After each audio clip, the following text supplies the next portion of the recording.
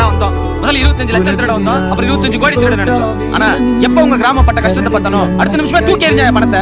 ஏன் தெரியுமா? உங்கள மாதிரி தான் அவன் அம்மா விவசாயம் பண்ண முடியாம இங்க வந்து கூலி வேலை பார்த்தாங்க. ஒரு பாலம் கட்டும் போது பிள்ளை வந்து செத்து போயிட்டாங்க.